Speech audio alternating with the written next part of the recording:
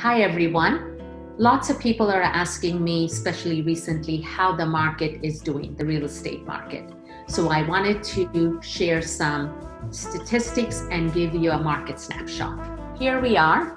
So we will talk about the San Mateo County first. This talks about the uh, San Mateo County year to date very interesting, as you can see, in January, um, the number of homes on the market was 394, but then market started really getting uh, very active and we started to 500, almost 600 home in February, then went down to 400. And as you can see in April, because of the COVID-19, we only now um, have 247 homes on the market. So it went down drastically.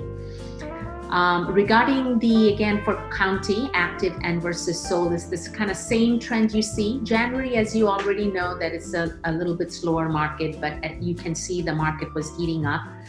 And then suddenly in April, shelter in place, the number of houses on the market in county is 536 versus only the sale is only 154. And that is because we are not there is a lot of restrictions as you already know. We are not allowed to show um, owner occupied homes. We are not allowed to do open houses. Very recently there is a little bit of relaxation regarding showing empty homes or vacant homes but however there is a lot of still a lot of restrictions and there are a lot of rules and regulations that we have to abide by.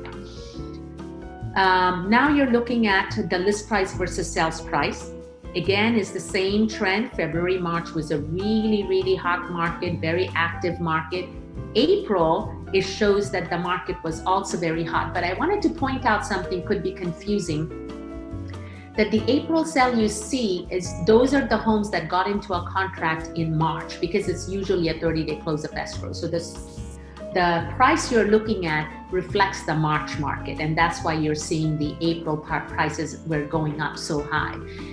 What will reflect the April market is when we get the data for the end of April, which would come on May. And I will at that time give you another market update, which will reflect what really had happened the month of April after the COVID 19 and shelter in place. Going down, this is a year trend. Again, if you just follow the maroon line, those are the um, sold homes, the prices for the sold homes, you see the market was going down, dipping down, and then February came and we started really heating up and going back up. Now we're concentrating for the San Mateo City. This one, the same trend, January through April. Very interesting. You come and see April, 74 homes on the market and only 25 sold because again, we are very restricted on how to show the homes and how to sell it. City of San Mateo, list price versus sales price, very active market. If you follow the maroon line, again, prices were going up for the single family home. Very interestingly, interestingly, townhome condo you see was not as active as the single family home. Now going to city of Foster City, very interesting. The March market in Foster City was very hot, 28 sales. However, unfortunately, come April, only six sales.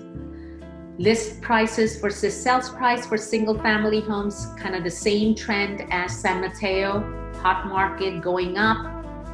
Went down a little bit in April for single family home. For townhome condo, you see the same trend, not as high as single family homes.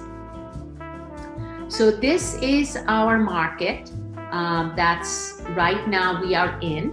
Again, as I mentioned, um, in May, I will do another update which will reflect the uh, April market. I hope you found this informative. Please call me or email me if you have any questions. I'm here for you. And again, please stay safe and be healthy.